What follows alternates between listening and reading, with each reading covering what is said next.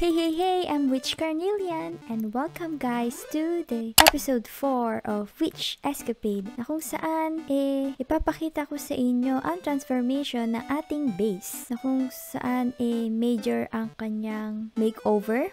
kung makita nyo, welcome to Witcherland Cottage na kung saan eh si Clary ang nakapag-isip kung ano ang papangalan ko dito sa aking island. So, thank you very much Clary, Mama Chup Chup. so, ayun. So, tingnan na natin kung ano ba yung mga pagbabago ang nangyari sa ating base. So, I will roll on the clip.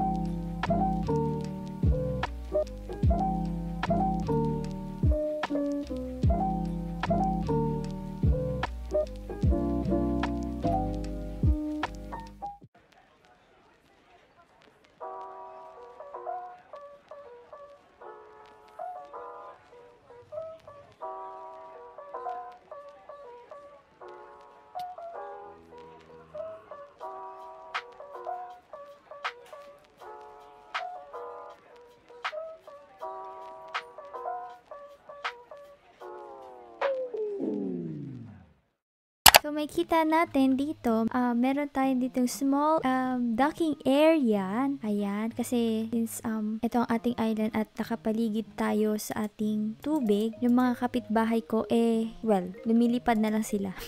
kasi mayroon silang mga ilitra. So, pag wala kayong ilitra, yan, pwede kayo magbangka dito. At dito kayo dadaong. Ang tema pala na ating base ay Mala Cottage Vibe. Ito ang main entrance. Ayan. May... So, meron dito tayo So, ano daw? So, meron tayong um, small farm dito para naman maging um, aesthetic vibes na ating mala cottage na base. Tanim ako ng wheat farm and potato and sugar cane. Sugar cane. Ayan, so dito ang ating main entrance. Kung mapapansin nyo, ayan, meron um, custom tree na matataas ah, na malalaki. So, dito may kita nyo ang aking storage area. Na may ginawa kasi ako sa nandiyan pa yung aking mga kagamitan. So, nakita nyo naman ang loob at kung paano ko ginawa ang aking storage area sa ating episode 3. Kung hindi nyo pa yung napapanood, panoorin nyo na. Thank you. Paliko mo dito. Ayan, may kita kang may mga, ano man tawag dito? Glowberries vines. Tapos, dito, meron tayong maliit na bridge. I forgot na maglagay ng lantern sa sa tubig pero lalagyan ko din yan in the meantime. So ayan, meron din tayong custom tree na malaki dito. And then, oh, nakagawa din ako ng duyan. Ayan. So, ayan, pag gusto mo mag-muni-muni, ayan, pwede ka dyan magduyan habang nagbabasa ng libro, habang umiinom ng kape, ng tsaa. Ito ang scene na makikita mo kapag umupo ka dito sa duyan na ito. Nga pala guys, habang gumagawa ako ng, habang ginagawa ko tong puno, eh, may biglang sumulpot na, ano ba tawag dito? Skeleton horse. Ito, pinangalan ko tong isa na si Corpsio. si Ler ang nagpangalan sa kanya dahil daw eh, butot kalansay na siya. Ayun din tayong picnic area. Ayan, may campfire, um, ito yung basket, ayan, and also, this is our fellow friends na nakipag, na na-join sa atin para sa ating picnic. Nandito si Mr. Villager, si Mr. Trader, at si Lama. Well guys, um, um, about that, eh, hindi ko naman sila pinatay. Ouch! Ouch! Napulot ko lang yung ulo nila. So, um, pinang-display ko. Also, nakagawa na rin ako ng doghouse. Ayan, ito yung bahay ng ating aso. Ayan, medyo malaki siya. Pinalaki ko dahil yung aso natin ay nandito lang nakatambay sa nakatambay sa hagdanan. so, hello my doggy. It's been a while. I hope you will enjoy your doghouse. Let's go, doggy. Hello. Dali, dali, dali. Pasok, pasok, pasok. Uy, Pasok! Ayaw mo ba? Alam mo bang pinaghandaan ko yan para sa'yo? Yan, may bones pala. Name tag yung aking na ano. Pwede ka pala dyan tumalon!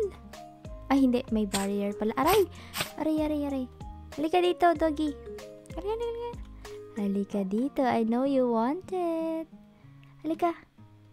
Dali. May stuck ka ba? Kasi, ba't ka kasi dyan dumaan? Ayan, papasit na kita at iusog na lang kita dahil ang kulit-kulit mo. Pwede ka bang humarap dito? Ayan. And then, tit, tit. Ang bigat mo. Sugo, sugo, sugo. Ayan. Hi, doggy. Do you like your new home? Yes? Ano kayong papangalan ko sa'yo? Comment down below if you have names in your mind kung ano papangalan natin. So, una nating aso, ito pala yung scenery niya kapag gabi. ba diba? Parang mala, parang nasa ibang bansa, parang nasa ibang Minecraft. Ibang Minecraft? May bansa yung Minecraft? What?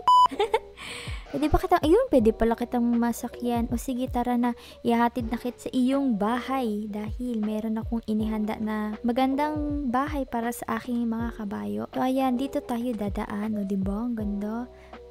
Pa-lantern effect pa siya. Yun. Kasya ka ba? Ma, ano ko ba? Mabubuksan. Sige, buksan ko na. Leka, Corpsio. Ayan, Corpsio, nagustuhan mo ba ang iyong uh, bahay? Don't you worry, Scorpio, dahil hindi lang naman ikaw ang mag-isa dito dahil kuhanap pa tayo ng isa pang, hindi lang isa, kundi kahit ilan pang kabayo para ilagay natin dito sa ating horse barn. So, ayan, naglagay ako ng tubig, water, para hindi sila mauhaw at ayan ang kanilang pagkain kahit na skelly, scaling na siya. so ito pa lang naman ang major transformation ng ating uh, cottage vibe na, na team. Maraming salamat guys sa panonood at huwag nyo kalimutan mag-like and subscribe and for more witchy vibe kita kits sa susunod na episode. Bye!